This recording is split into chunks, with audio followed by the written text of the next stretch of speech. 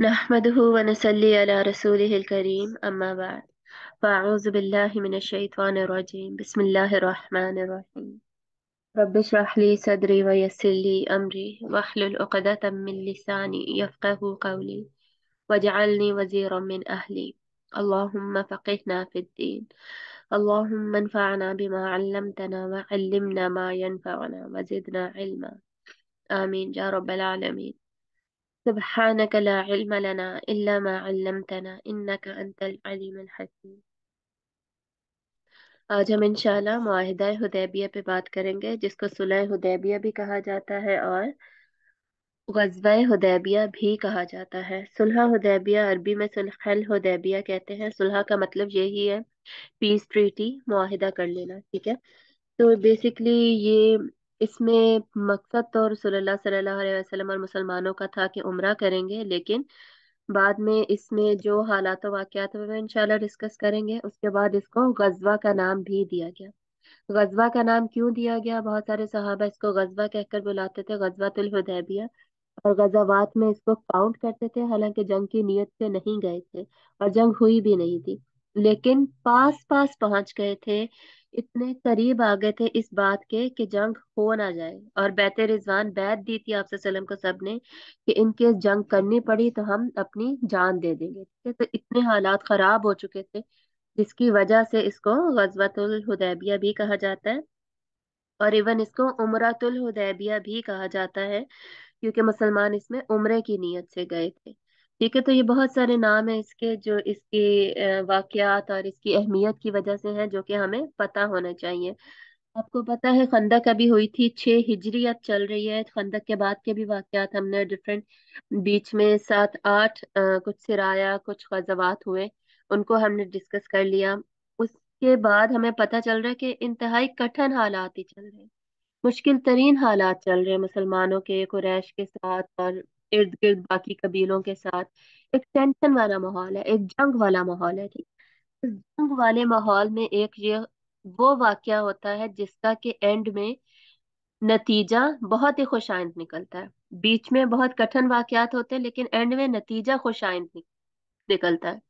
और वो कैसे निकलता है, वो कैसे हमें पता चलता है? क्योंकि कुरान मजीद में फिर अल्लाह ताला पूरी सूरत इस वाक्य पे नाजिल करते हैं और उस सूरत का नाम है सूरतुल फतह।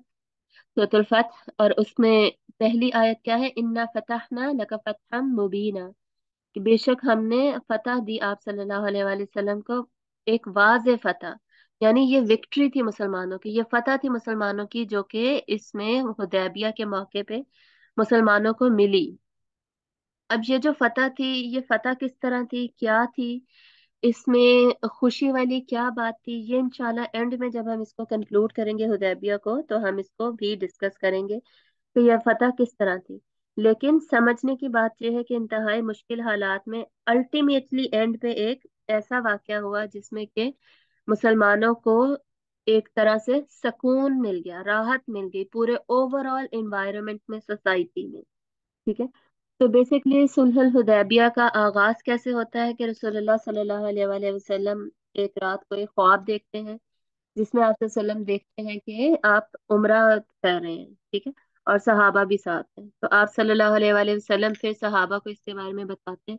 और हमें पता है कि रसूलों के जो ख्वाब होते हैं वो सच्चे होते हैं। तो आप वसल्लम ने उम्रा कर, करते हुए देखा खुद को तो आपने इससे यही इशारा लिया कि मुझे उम्र के लिए जाना चाहिए। तो आपसे सलीम ने सहाबा से मशवरा किया सहाबा को बताया चौदह सौ सहाबा थे और वो आप सल्लम के साथ हुए और कुछ पीछे भी कुछ लोग पीछे भी रहे। ये जो ख्वाब है इसका ज़िक्र भी सूरतुल अ, फतह में है और फिर जो पीछे रहने वाले थे उनका ज़िक्र भी फतह में अल्लाह ताला फरमाते हैं कि जो बदू पीछे रह गए थे ना वो कहने को वो मुसलमान थे और उम्रे के लिए आप सल्लम जा रहे थे ना। लेकिन उन्होंने आप सल्लम से कहा क्या कि हमारे माल और हमारे खाने पीने के मसले, मसाइल, हमारा खानदान, ये सब कुछ डिस्टर्ब हो जाएगा हम इस तरह नहीं जा सकते, इसलिए प्लीज़ हमें ना छोड़ दें वगैरह वगैरह। तो अल्लाह ताला सूरत में बताते हैं कि नहीं, ये लोग बेसिकली झूठ बोल रहे थे और इन्हें डर था कि आप सल्लल्लाहु अलैहि वसल्लम मक्का में दुश्मन के टेरिटरी में जा रहे हैं, दुश्मनों के मुँह में जा रहे हैं। तो वो तो मुसलमानों को छोड़ेंगे नहीं और उनकी तादाद भी ज़्यादा है। तो वहाँ पर उनका खाना पीना भी है, उनका असलहा भी है, सारा कुछ है, वो तो तैयार होंगे। वो तो मुसलमानों को कत्ल कर देंगे और रसूल सल्लल्लाहु अलैहि वसल्लम को भी नाउजुबिल्ला नहीं छोड़ेंगे। तो इस डर की वजह से असल में ये पीछे रहे थे और बाकी मसले, मसाइल तजारत का या खानदानों का कोई मसला नहीं था। तो ये अल्लाह ताला इन मुनाफिकों का ज़िक्र करते हैं सूरत में कि ये इस वजह से पीछे रहे। इससे भी हमें पता चलता है कि माहौल कैसा होगा, किस तरह का खतरनाक माहौल था, कि क्या सबकी सोच चल रही थी कि कभी भी किसी पे भी हमला हो सकता है कभी भी किसी को भी कत्ल किया जा सकता है और वहाँ पर जाना तो बिल्कुल ही अपनी जान उनके हवाले कर देने के बराबर है। खैर, जितने भी सिंसियर सहाबत है, मुख्त सहाबत है, वो सब तैयार हुए चौदह सौ के करीब सबने तैयारी की। कुर्बानी के लिए जानवर भी साथ लिए गए। कुर्बानी के लिए जानवरों को बाकायदा तैयार किया गया। वसल्लम ने अपनी तरफ़ से सत्तर ऊँट साथ लिए, सत्तर ऊँट। और हम देखेंगे जब आगे होगा हिज्जतुल विदा होगा ना आखिरी हज। उसमें आप सल्लल्लाहु अलैहि वसल्लम सौ ऊँट साथ लेते हैं ना तो यहाँ पे सत्तर ऊँट। और बेसिकली हमेशा आप सल्लम हर अगला कदम ना बढ़ा चढ़ा कर लेते थे। और नेकी में हमेशा अपने आप से भी ना पिछली नेकी से सबकत करने की कोशिश करते तो ये बहुत बड़ा लेसन है हमारे लिए भी कि हमें भी हमेशा हर नेकी में सबकत करने की कोशिश और हम ये देख रहे हैं कि सहाबा की तादाद जो है वो दिन ब दिन बढ़ती जा रही है। बदर में आपको याद होगा, लड़ने वाले तीन सौ सहाबा थे। उहद में तकरीबन सेवन हंड्रेड थे। कंदक में ऑलमोस्ट वन थाउज़ेंड थे और अब हुदैबिया में ऑलमोस्ट फोर्टीन हंड्रेड हो चुके हैं one thousand and four hundred और सत की अब जाने की तैयारी मुकम्मल है। कुर्बानी के जानवर सब साथ ले चुके हैं। अच्छा अब तो ऐसा होता है ना कि हम उम्र और हज के लिए जाते हैं तो हम वहाँ जाकर वहीं पे कुर्बानी के लिए टिकट्स वगैरह लेते हैं, उन्हें बता देते हैं स्लॉटर हो जाता है स्लॉटर हाउसेज में। लेकिन पुराने जमानों में तो ये सिस्टम नहीं था। अब हज पे भी जो जाता था, उम्र पे भी जो जाता था, वो अपने कुर्बानी के जानवर साथ लेकर जाया करता था। वहाँ जाकर खरीद सके तो वो और बात है, लेकिन अमूमन साथ ही लेकर जाया जाता था। तो निकले कब मुसलमान मदीना से? पहली जिलकत थी, ठीक है? फ़र्स्ट जिलकत को छह हिजरी का साल चल रहा है और पीर पीर का दिन था। और इसी दिन को आप सल्लल्लाहु अलैहि वसल्लम ने पहली जिलकत को ही क्यों चुना? क्योंकि आपको पता है कि बारह महीनों में से चार महीने क्या कहलाते हैं? अशहरुल हुरम, हुरमत वाले महीने हैं। तो कौन से हैं? जिकत जिलहज, मुहर्रम और रजब। तो इन चार महीनों में क्या होता है? कि लड़ाई, झगड़ा, जंगो, जदल जो है वो हराम हो जाता है। अब किसी को भी नुकसान नहीं पहुँचा सकते। इवन अरबों में खुरैश में भी ये रवाज था कि अशरुल हुरम में अगर कोई आता था हरम की तरफ़ और चाहे उनके साथ उनकी जंग चल रही होती थी, पुराने जमानों की जो जंगे उनकी बात कर रही हूँ, और चाहे किसी ने कोई उनके कातिल कोई जा रहा होता था जिसने उनके किसी कबीले के किसी शख्स को कत्ल किया हुआ हो, फिर भी वो उसको कुछ नहीं कहते थे और उसको उम्र और तवाफ और वगैरह करने देते थे, हरम में आने देते थे। कोई रोक तो रोक टोक नहीं होती थी अशरुल हुरम में, हुरमत वाले महीनों की पासदारी ये अरब और कुरैश के लोग सब ही करते थे। उस जमाने में एज अ नॉन मुस्लिम भी वो करते थे, क्योंकि ये हज़रत इब्राहिम के जमाने से ये रवाज था, चला आ रहा था और ये सुन्नत थी। तो आप ने बाकायदा इस दिन को चुना चुना पहले जिलकत को, और इसका मकसद क्या था कि उनको मक्का वालों को ये पैगाम पहुँच जाए कि हम जो आ रहे हैं, हमारा मकसद किसी किस्म की कोई जंग नहीं है, बल्कि मकसद सिर्फ़ और सिर्फ़ उम्र करना ही है। और अमन के साथ आ रहे हैं और अमन के साथ उम्र करना चाहते हैं और अमन के साथ ही बात और जो तैयारी की गई थी जाने की, इसके बारे में भी दो राय हमें मिलती हैं। एक तो ये कि जंगी हथियार लिए गए थे कि नहीं? तो कुछ के मुताबिक जंगी हथियार भी लिए गए थे, लेकिन कुछ के मुताबिक जंगी नहीं, बल्कि सिर्फ़ वो हथियार लिए गए थे जिनसे कि रस्ते में कोई ज़रूरत पड़ जाए रस्ते में कोई वैशी जानवर हमला कर देता है, कोई और मसला हो जाता है। तो अपनी प्रोटेक्शन के लिए बेसिकली सिर्फ़ वो हथियार लिए गए थे। अदरवाइज़ कोई आ, वो भी हर एक के पास नहीं डेफिनेटली कुछ के पास जो प्रोटेक्टर्स होंगे ना काफिले के पूरे उनके पास। तो अदरवाइज़ बाकी हथियार किसी के पास नहीं थे। तो फिर इस तरह पहली जुल्कत को आप ने चूज़ किया ताकि उन तक ये पैगाम पहुँचे। अब सोचें चौदह सौ लोग निकल के मदीना से मक्का की तरफ़ काफिले की सूरत में जाएँगे एहराम पहना हुआ होगा तलबिया पढ़ रहे होंगे। तो क्या हमको पता नहीं चलेगा, छुप के तो नहीं जा रहे थे। बाकी जो गजवात पे आप सल्लल्लाहु अलैहि वसल्लम जाते थे तो अक्सर जिस तरफ़ को जाना होता था, उधर के बजाय ओपोजिट साइड को निकलते थे और वहाँ से फिर सहाबा को बताया जाता था कि हम उस मकाम पे जा रहे हैं जंग लड़ने के लिए। तो उस मकाम पे फिर पहुँचा जाता था उसको खुफिया रखा जाता था, क्योंकि वो मकसद कुछ और होता था। यहाँ पे कुछ भी खुफिया नहीं रखा जा रहा, बल्कि एलानिया तौर पर तलबिया पढ़ के एहराम बाँध कर उम्र के लिए जाया जा रहा है। तो उनके पास खबर पहुंचेगी तो वो डेफिनेटली उनके जहन में बहुत कुछ आएगा। कि पता नहीं इनका क्या मकसद है। खैर तो आप सल्लम और सारे सहाबा मदीना से बाहर जो मीकात है, जहाँ से एहराम बांधा जाता है रबी भी वहीं से एहराम बांधा जाता है, जुल्हुलैफा। जुल्हुलैफा पर पहुंचकर आप सल्लल्लाहु ने दो रकात नमाज़ अदा की। उसके बाद फिर आप सल्लल्लाहु ने एहराम बांधा और वहाँ से फिर सारे मुसलमान रवाना हुए और साथ साथ ही आप सल्लल्लाहु अलैहि वसल्लम ने बनो खुजा के कबीले के बनो खुजा आपको याद होगा एक और कबीला था बाहर मदीना से बाहर बसा हुआ जो कि बेसिकली मदीना और मक्का दोनों के दरमियान में बेसिकली दोनों के साथ इनकी दोस्ती थी मदीना वालों के साथ भी मक्का वालों के साथ भी। और न्यूट्रल ट्राइब था बेसिकली ये इनकी सिंपथीज थी इस्लाम के साथ मुस्लिम्स के साथ लेकिन मुसलमान थे नहीं। और अलबत्ता इनमें से ए, एक शख्स को जासूस बनाकर आप सल्लल्लाहु अलैहि वसल्लम ने भेजा कि तुम जाओ, खबर लेकर आओ कि मक्का वालों को पता तो चल गया होगा। तो उनका क्या रद्द अमल है? क्या कर रहे हैं? इन रिस्पॉन्स वो उनकी कैसी तैयारी है? कर क्या रहे हैं वो? तो जासूस क्या है? तो से जाकर फिर वापस आया और उसने वो लोग तो तैयार हैं। उनको खबर पहुँच और वो लोग अपने असलहा उठा चुके हैं प्रॉपर तैयारी में हैं और उन्होंने अपने बच्चों और औरतों को भी ले लिया है, एक जगह पर जमा कर लिया है और अपने जो जंग वाला लिबास होता है, जिससे बेसिकली पता चलता है कि हाँ हम जंग के लिए तैयार हैं, वो भी वो पहन तो वो लोग तो समझ रहे हैं कि जंग होने लगी और अपनी हिफाजत का उन्होंने सारा इंतज़ाम कर रखा तो इस पर आप ने रुक कर चाहिए या हम फिर जंग करनी चाहिए या फिर वापस होना चाहिए। तो इस पर कि नहीं हम या वसल्लम जंग का हमें नहीं सोचना चाहिए और सिंस हम उम्रे की नीयत से निकले हैं तो हमें फिर आगे बढ़ना चाहिए और रुकना भी नहीं चाहिए और जंग भी नहीं करनी चाहिए बल्कि आगे बढ़ना चाहिए कि हम उम्र की इजाज़त दें। ठीक है तो हम यहाँ पर देख रहे हैं कि मुकम्मल तैयारी है आप सल्लम की हर तरह से मुसलमानों ने तैयारी की है। डेट तक का ख्याल रखा गया है कि किस तारीख को निकलना है जासूस तक को भेजा गया है और शूरा का भी इंतज़ाम है, आप सल्लम मशवरा भी कर रहे हैं डेफिनेटली अल्लाह से दुआ भी जारी है। तो इस सारे प्रोसेस को क्या कहते हैं? कई दफ़ा हमने पढ़ा। यही सारा प्रोसेस है जिसको बेसिकली तवक्कल कहा जाता है। तवक्कल इल्लाह क्या है? कि पूरी आपकी तैयारी हो, मुकम्मल हंड्रेड परसेंट हर तरह से तैयारी की जा रही है, पता भी किया जा रहा है और फिर अल्लाह से दुआ भी की जा रही है कि अल्लाह ताला हमें कामयाबी अदा करे। तो ये तवक्कल का जो लेसन है, हमें पूरी सीरत में से मिलता है। कभी ऐसा नहीं हुआ कि मुसलमानों ने आप सल्लल्लाहु अलैहि वसल्लम सिर्फ़ दुआ कियो और तैयारी ना कियो, या तैयारी में कोई कमी छोड़ दियो, और या फिर ऐसा हो कि जी सिर्फ़ तैयारी की गई है, अपने ज़ोर बाजू पे एतमाद किया गया है और दुआ नहीं की गई। कभी भी ऐसा नहीं हुआ। मुकम्मल। इवन किसी के अगर हमारी जर्नल टर्म्स में अगर हमारी लाइफ में देखा जाए तो किसी का पेपर है, कल को मैथ का पेपर है तो वो हंड्रेड करेगा, फिर दुआ करेगा तो अल्लाह ताला उसे सक्सेस देंगे, कामयाबी देंगे, ये तवक्कल है। चैप्टर्स पूरे कंप्लीट भी नहीं किए स्टडी आपकी कंप्लीट जी, बस अल्लाह तवक्कल, मैं जा रहा हूँ पेपर देने।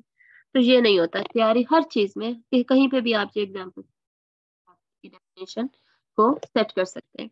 दूसरा हम यहाँ से देख रहे हैं, आप सल्लल्लाहु अलैहि वसल्लम का बार बार सहाबा को शामिल करना। सहाबा से हमने सुरा आल इमरान पढ़ी थी तो उसमें सुरा आल इमरान की आयतों में था ना वशाविर हम, और करें हमसे अल्लाह ताला आप से फरमा रहे थे ना, ये सारा कुछ आपने इनसे मशवरा करना नहीं छोड़ना, बल्कि इनसे मशवरा करते रहना। तो इवन अल्लाह के रसूल जिनका अपना ओपिनियन इतना स्ट्रांग होता था इतना साउंड रीजनिंग पर बेस्ड होता था फाउंडेशन उसकी इतनी स्ट्रांग होती थी और उसके गलत होने के चांसेस भी कम होते थे। लेकिन फिर भी आपसे सलम से ये कहा जा रहा है कि आप मशवरा करके चलेंगे तो फिर हमारे लिए क्या हुक्म होगा? मशवरा करना इस्तिशारा जिसे कहते हैं, इसकी बाकायदा अहमियत है इस्लाम के अंदर। एक तो इस्तखारा है ना, अल्लाह से मशवरा करना, उसकी भी अपनी अहमियत और फिर इस्तारा मुसलमान लोगों से मशवरा करना। इसका मतलब ये नहीं होता हर एक से मशवरा करना मतलब कंसर्न लोगों से, जो कि आपको पता है कि आपको अच्छा मशवरा दे सकता है, उससे मशवरा करना और फिर फैसला करना। तो मशवरा करना भी सुन्नत है और इस सुन्नत को हमें ज़िंदा रखना चाहिए। कभी ये नहीं समझना चाहिए कि मैं खुद ही काफ़ी हूँ अपने लिए। जो मैंने कर लिया, कह लिया, वही ठीक है। तो अब जब दोबारा से चलना शुरू किया तो रास्ते में एक और वाक्य हुआ, एक छोटा सा वाक्य। जब इतना बड़ा काफिला है तो उसमें डेफिनेटली ग्रुप्स बन जाते हैं ग्रुप एक ग्रुप में कुछ के है और उन्हीं में बेसिकली वो एहराम में नहीं थे। ये हमें नहीं पता कि वो एहराम में क्यों नहीं थे लेकिन अलबत्ता वो साथ थे। तो रस्ते में उन्होंने देखा कि जैबरा के आ, का पूरा गौल जो है वो जा रहा है और जैबरा का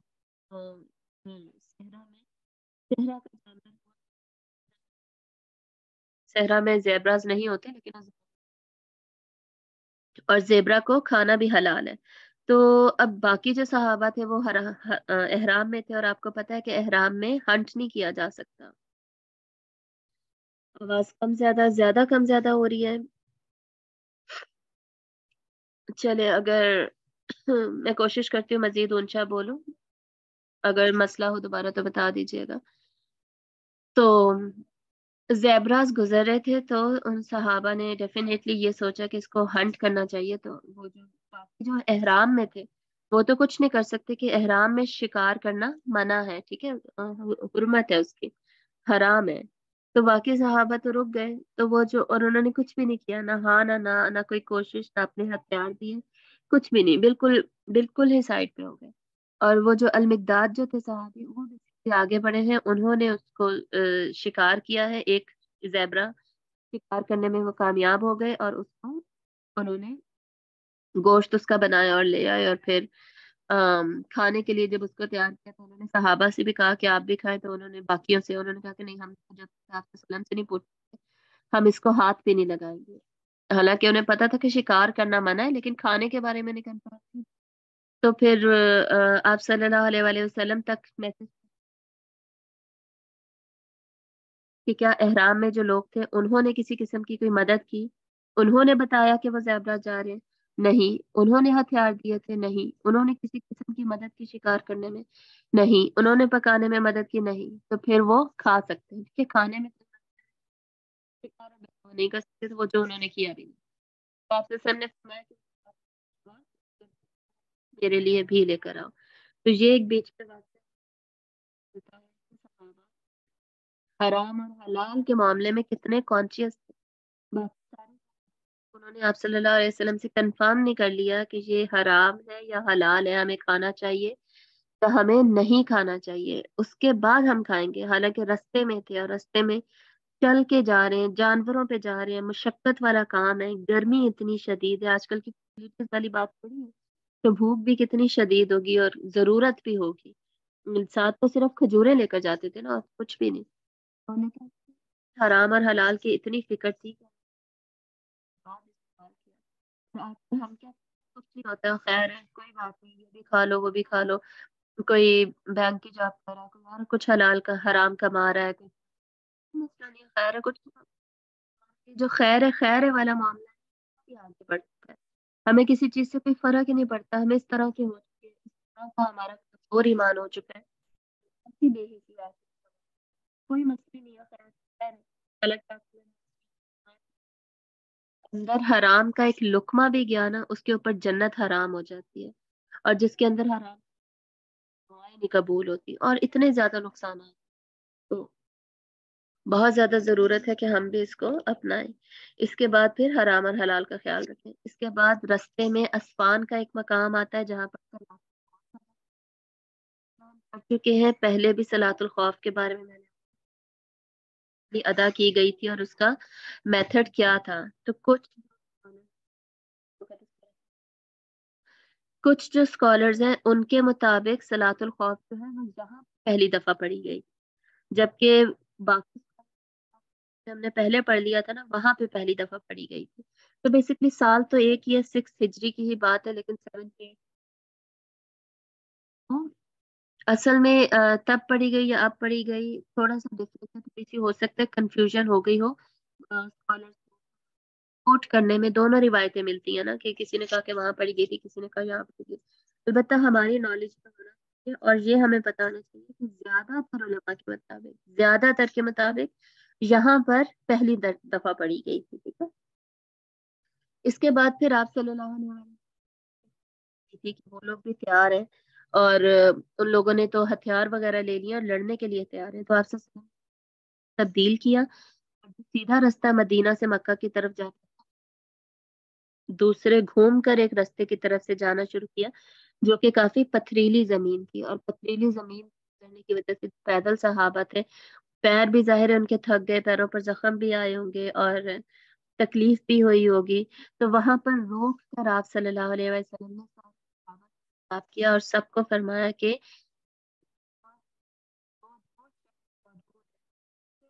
और नेक इंसान पूरी दुनिया में कहीं मौजूद नहीं है। और तुम सब के लिए अल्लाह ने आम माफ़ी का ऐलान किया है सिवाय उस शख्स के जो के सुर्ख ऊँट वाला है। ठीक है? यानी अब ये क्यों माफ़ी का ऐलान किया जा रहा है? क्योंकि मुश्किल हालात है ना, मुश्किल तरीन वक्त में उनकी हौसला अफजाई की जा रही है, उन्हें मोटिवेशन दी जा रही है। कि ये जो तुम इतनी मुशक्कत कर रहे हो, इतनी तकलीफों वाले अमल कर रहे हो, उम्र के लिए जा रहे हो, अल्लाह की खातिर, अल्लाह के रसूल की अतात में तो ये सब रायदान ही जाएगा। बल्कि इस सब का बदला होगा और इस सब का बहुत ही अच्छा बदला होगा, एक हौसला अफजाई की जा रही है, ठीक है? लेसन है इसमें कि हम अक्सर लोगों करवाते हैं या अपने बच्चों से मुझे पानी ला दो। वैसे बहुत सारे काम, लेकिन हम कभी भी हौसला अफजाई नहीं करते, कभी भी दो अच्छे वर्ड नहीं कहते। बेनिफिट होगा, अल्लाह तुम्हें अजर देगा, मैं करूँगी। ऐसे बहुत सारी चीज़ें हो सकती हैं। तो कोई भी अगर नेक काम हम करते हैं या किसी और से हम करवाते हैं या किसी को कहते हैं करने का तो उसका एंड रिज़ल्ट भी बताया करें। उनको रिवॉर्ड का बता के, जजा का बता के उन्हें मोटिवेट भी किया करें। हौसला भी उनका बुलंद किया करें मज़बूत करें उनका, किसी का भी, कोई भी इसमें हो सकता है, बड़े भी लेकिन अमूमन ज़्यादातर छोटे को इस सिलसिले में ख्याल रखना चाहिए। तो ये पूरी सीरत में से ना, हर वाक्य में से हमें, इस तरह हमें मिजाज पता चलता है। हमारे दीन का क्या मिजाज है? आप सल्लल्लाहु अलैहि वसल्लम का क्या मिजाज था? सहाबा किस तरीके से चीज़ों को देखते थे? पूरी पूरी इंसान की ना नफ्सियात क्या होती है? क्या साइकोलॉजी होती है जिसको लेकर वो चल रहा होता है और परफॉर्म कर रहा होता है, अमल कर रहा होता है? उसके जहन में क्या चल रहा है? ये सारा कुछ हमें पता चलता है। ठीक है तो सबके लिए माफ़ी का ऐलान हुआ सिवाय एक सुरखोट वाले। तो वो कौन था? फिर सहाबा ने देखना शुरू किया तो सहाबा ने देखा कि सबसे पीछे एंड पे, एक शख्स है, एक बदू है जो कि अपना ऊँट ढूंढ रहा कह रहा किसी ने देखा है। सुर्ख ऊँट आपको पता है, ऊंटों में से महँगे तरीन ऊँट की समय एक टाइप है। जैसे मैंने आपको पहले भी बोला था, इन सवारियों को आप ऐसे समझा करें, जैसे कि ये वेहिकल्स हैं, गाड़ियाँ हैं। तो एक गाड़ी, आप इस तरीके से इसे समझ लें। तो वो घूमी हुई थी घुमा हुआ था, और इसकी कितनी प्राइस होगी, इसकी कीमत होगी तो वो उसको ढूंढ रहा था। तो साहबा ने उसको बोला कि, भाई, तुम भी आप सल्लल्लाहु अलैहि वसल्लम के पास जाओ और उनसे माफ़ी मांग लो और उनसे कह दो कि वो तुम्हारे लिए भी माफ़ी मांग ले अल्लाह ताला से, तुम्हें माफ़ कर दे तुमसे जो गलती हो गई है, ये वाली। उसने कहा कि नहीं, मुझे इसकी कोई ज़रूरत नहीं है, मुझे तो अपने सुरखूंट की फ़िक्र है, मुझे तो वो मिल जाए बस। और मुझे तुम्हारे साथी के पास जाने की कोई ज़रूरत नहीं है। इस तरह उसका एटीट्यूड बेसिकली नियत में फतूर था ना तो इस वजह से उसके लिए माफ़ी नहीं। तो अल्लाह ताला को पता था, अल्लाह ताला ने आप वसल्लम के ज़रिए से पहले ही बता दिया था कि ये इसकी नियत में फतूर है। ये मुनाफिक मौजूद है, बाकी सहाबा तो हमें यहाँ नियत का पता चल रहा है बहुत ज़्यादा। अगर इतने सारे लोग एक नेक काम में शामिल है, लेकिन किसी की नीयत अगर खराब है तो हर एक को अमल की बुनियाद किस पे है? नीयत पे है। नीयत के मुताबिक और नीयत में कितना इखलास है या कितनी मिलावट है, रियाकारी कितनी है, उसके मुताबिक इंसान को उसके अमल का अजर मिलता है। और अमल ज़ाया भी हो सकते हैं, अगर इखलास है ही नहीं। ठीक है, अगर कोई उम्र पे जाता है और उसकी नीयत ही नहीं है अल्लाह के लिए उम्र करने की, अभी भी, आजकल के ज़माने में भी, बल्कि वो है पूरे ग्रुप में, उम्रा करने वालों के ग्रुप में, लेकिन उसका मकसद कुछ और है, अचीव वो कुछ और करना चाहता है, वहाँ जाने के लिए, कोई कुछ और उसके जहन में है तो उसको वही मिलेगा और उसको फिर उम्र का अजर नहीं मिलेगा। तो बहुत ज़्यादा ज़रूरी है कि हम अपनी नीयतों को देखें, नीयतों को दुरुस्त करें और अपनी नीयतों की खसूस हिफाजत करें, ख्याल करें। वो हदीस आपको मैंने कई दफ़ा सुनाई है, याद भी होगी। आपसे सर ने फरमाया कि रियाकारी इंसान के अमल में इस तरह आ जाती है जैसे काले पत्थर पे अंधेरी रात में एक काली चूंटी चल रही होती अब कितना मुश्किल है उस काली चूंटी को देखना, अंधेरी रात में काले पत्थर के ऊपर काली चूंटी। इस तरह रियाकारी अमल में होती है कि पता भी नहीं चलता, नज़र भी नहीं आता। और रियाकारी क्या है, हमें पता है रियाकारी शिरक असगर है। ठीक है, छोटा शिरक है? तो इससे बहुत ज़्यादा बचने की ज़रूरत है। आगे अब क्या हुआ? आगे सर ने हौसला अफजाई की, उसके बाद आगे चलना शुरू किया।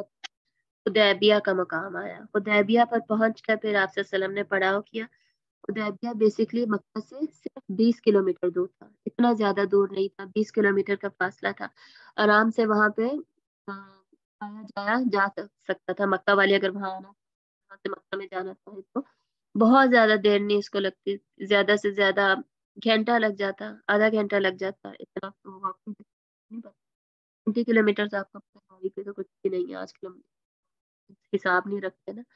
तो ये हुदैबिया बेसिकली आता है मक्का और जद्दा के दरमियान में। तो आएगा मदीना तो मक्का के दरमियान नहीं आता, क्योंकि आप ने रास्ता जो बदल लिया था। और आजकल इस मकाम को बेसिकली अशुमैसी कहते हैं। हुदैबिया का उसको बताइए कर दिया तो अगर किसी ने अब जाना हो और देखना हो बेसिकली ये हुदैबिया मकाम एक कुआँ था, कुएँ का नाम था हुदैबिया का उस जगह से उस मकाम का नाम हुदैबिया पड़ा और हमें पता है कि अक्सर जब भी पड़ाव डालते क्याम करते तो पड़ाव डालते ताकि पानी लेने में पानी हो। मुसलमान पानी साथ तो लेकर जाते थे कितना ले लेंगे? कितना होगा कि जी वो सब पूरा आ जाए? हम भी हमारे लिए भी पानी पूरा नहीं आता हमें। रास्ते में टक शॉप्स वगैरह से खरीदना पड़ता है पानी। अगर हम लॉन्ग रूट्स पे निकले और मदीना से मक्का तो दो हफ़्ते तो बनते हैं। दो हफ़्ते का डिस्टेंस बता रहे हैं वो लोग। तो खैर, कुएँ में सहाबा अंदर गए, कुएँ के पानी निकालने के लिए तो बहुत ही थोड़ा सा पानी था। बकेट उन्होंने निकाली है, बाल्टी और कहा है कि पानी तो बहुत ही कम है कि हमारा गुजारा किसी का भी नहीं हो सकता। तो आप ने वही उस बाल्टी में जो थोड़ा सा पानी था, वही अपने मुँह में लिया। उसी को मुँह में घुमाया और अपने मुँह मुबारक से उसी को फिर पानी को दोबारा कुएँ में डाल दिया। तो उसकी बरकत से फिर कुएँ में पानी निकला है, पानी बाहर बेतहाशा पानी निकला कुएँ में से। ये मुआजा था अल्लाह ताला ने वहाँ सबको दिखाया और फिर उस पानी से सारे शेर हुए और उनके साथ सोचे सत्तर ऊँट तो आपसे सलम के थे तो बाकी सहाबा के साथ कितने जानवर होंगे कुर्बानी वाले? सब एहराम में थे, जितने मैक्सिमम एहराम में थे। ऑलमोस्ट सब एहराम में ही थे ना, हमें एक की ही मिसाल मिली है ना कि नहीं थे। उन सबके साथ डेफिनेटली जानवर होगा, उम्र के बाद कुर्बानी तो करनी ही है ना। तो जानवर भी पास है और इतनी अब हुदैबिया मक्का के पास पहुँच चुके हैं ना, ये अब इनका तो सफ़र कर लिया उन्होंने। तो खाना पीना, मुशक्कत, थक चुके हैं, थकावट इतनी ज़्यादा है, भूख है, प्यास है, और इतनी पीली ज़मीन पर भी चल कर आए हैं, जख्म वगैरह होंगे, कैसे हालात होंगे? राहत महसूस हुई है। सबने शेर होकर पानी ये भी को दिखाया। मोजज़ों का क्या मकसद होता है? मोजज़े से बेसिकली होता है क्या? एक तो उनकी ज़रूरत भी पूरी होती है। इसके अलावा मोजज़े से क्या होता है? बेसिकली ईमान मज़बूत होता है। ईमान और ज़्यादा बढ़ जाता है कि हम जिस रास्ते पर निकले हुए हैं, हम जिसको मान रहे हैं, जिस नज़रिए को हम फॉलो कर रहे हैं, वो सब क्या है? वो सच्चा है। यही हक है। यही सच है। किसी किस्म का कोई डाउट कोई कंफ्यूजन नहीं रहती, ठीक है? तो ये मोजज़े का बहुत बड़ा बेनिफिट जो यहाँ पर दिखाया गया। और हमारा भी बिलीफ क्या है, ईमान क्या है कि हम इन सारे मोजात पर इसी तरह ईमान लेकर वहाँ पर बसने के बाद अब पढ़ते थे, आपको भी याद होगा, हमारे स्कूल में इस्लामियत की जो बुक्स होती थी, उन वाहिदा का चैप्टर होता था ना बाकायदा, मुझे याद उर्दू में। में शायद होता था। तो उसमें बेसिकली निगोसिएशन से बात शुरू होती थी। ये सारी निगोसिएशन उसमें मेंशन नहीं होती थी। लेकिन एंड में जो माहिदा होता है ना, जो उसकी शराइ है, वो किताबों में अमूमन लिखी हुई होती है। तो ये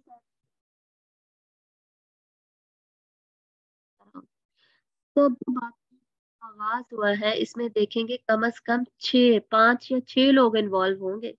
जिनसे बातचीत होगी तो अल्टीमेटली एंड में जाके फिर मुआहिदा होगा, ठीक है?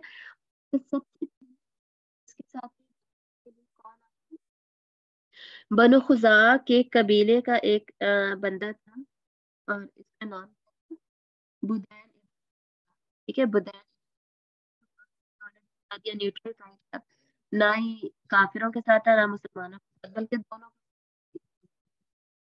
तो ये बताया वॉलंटियर किया, खुद हो फ़ोन क्योंकि गजवा एहजाब में इन सारे कबीलों ने देख लिया था ना कि कुछ भी नहीं बना। हम सबने लड़ अल्टीमेटली इस तरह वापस आए और इतना तरह हो गया। लेकिन फ़ायदा तो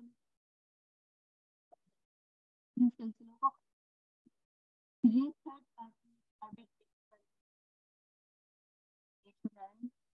और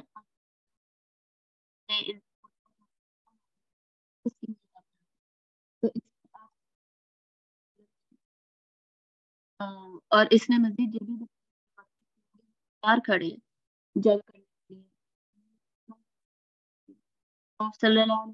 ने नहीं चाहते जंगों ने अभी तक सिर्फ़ ही ही दिखाई, नहीं दिखाया। तो हम अमन का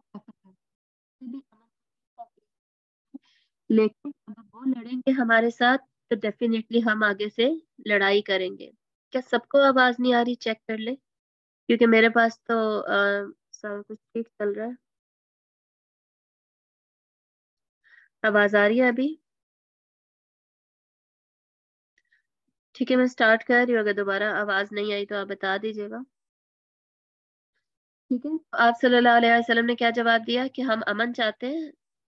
ठीक है। हम अमन चाहते हैं और अमन के लड़ना चाहते भी नहीं है और लड़ने का हमने नुकसान के अलावा और कुछ देखा भी नहीं। ठीक है। तो ये आपसे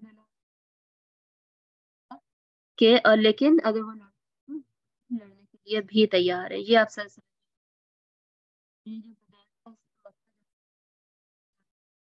सलम का ये मैसेज है। उन्हें उम्र करने दो क्या फ़र्क पड़ता है इससे? तो गिज इसकी इजाज़त नहीं देंगे कि मुसलमान अंदर आए और आकर उम्र करें।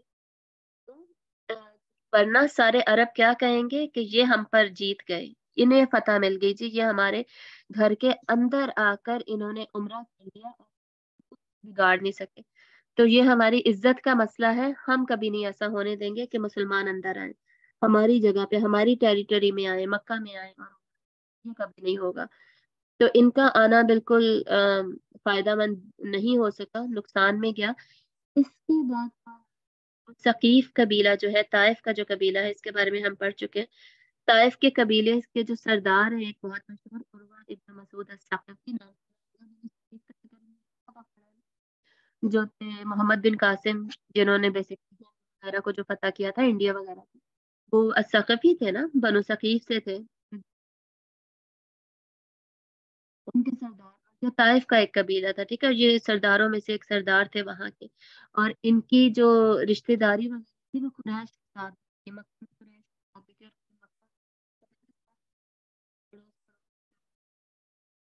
तो ये जो उर्वा बिन तकफी है, ये बाद में मुसलमान होंगे ना, इनके इस्लाम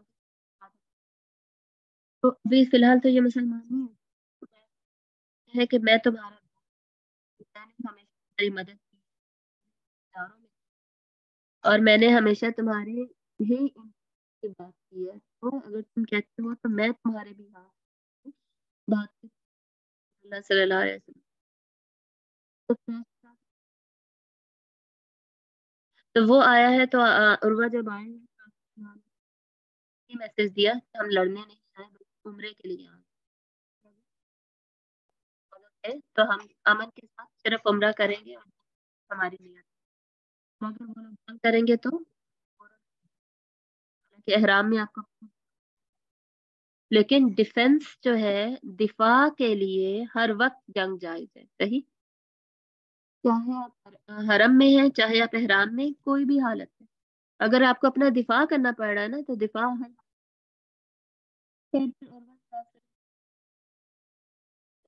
को देखा और उनके बाकी सहाबा थे उन कौन है तुम्हारे साथ? ये कौन लोग हैं? ये तो तुम्हारे रिश्तेदार कोई जानने वाले भी नहीं लग रहे कोई अपने के कबीलों के कुरैशी हो ये सारे कौन है? ये तो मुझे लगता है बात करोगे लड़ने लोगोगे ये तो भाग जाएँगे सारे। यानी बनो औस और बनु खज़रज के लोग थे ना? और मज़ीद भी नए-नए मुसलमान थे, तो वो इतने ज़्यादा को तो नहीं पहचानता था सिवाय कुरैशियों के? और मुहाजिरीन कितने थे आपको याद होगा शुरू से? 80 या सौ से ज़्यादा मुहाजिरीन नहीं थे? 1400 में, तो 1400 में वो तो छुपे हुए होंगे, इर्द-गिर्द इधर-उधर होंगे। बाकी लोग सारे अननोन थे उसके लिए, तो उसने कहा कि ये कौन और तो भाग जाएँगे। ये तो आपकी मदद नहीं करेंगे, जंग कैसे करेंगे आप? तो ये उसका अपनी सोच थी और बाकी बेसिकली उन ज़मानों में होता क्या था? कि कबीले की बेसिस पे या रिश्तेदारी की बेसिस पे लड़ा जाता था ना कि आप कोई बंदा है, वो आपकी प्रोटेक्शन के लिए आपका साथ देगा। या आपका रिश्तेदार है, वो आपकी प्रोटेक्शन के लिए आपका साथ देगा। बिला वजह कोई क्यों लड़ेगा आपके साथ? तो उसके ख्याल में ये बिला वजह। लेकिन उसको नहीं पता था कि ये इस्लाम की ताकत और ईमान की ताकत और अखुवत का रिश्ता और भाई ये क्या चीज़ है?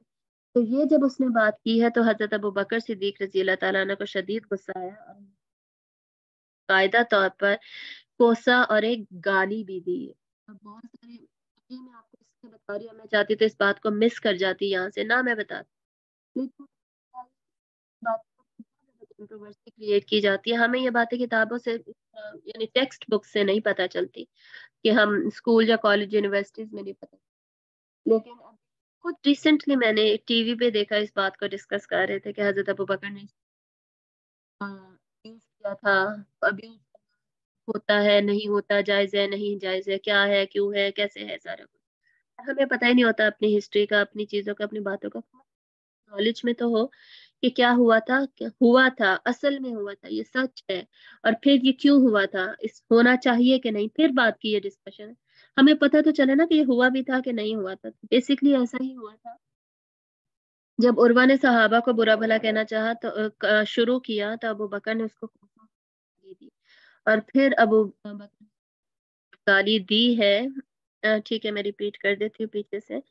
बेसिकली हुआ क्या उर्वा ने आपसे सल्लम को देखा, सहाबा को देखा और बोला कि ये कौन लोग हैं तुम्हारे साथ? ये तो तुम्हारी कभी नहीं मदद करेंगे। ये क्या कर लेंगे? तुम इन्हें तो इनकी तो कोई रिश्तेदारी भी नहीं है तुम्हारे साथ। ठीक है? तो बेसिकली इस ज़माने में क्या था हर कोई अपने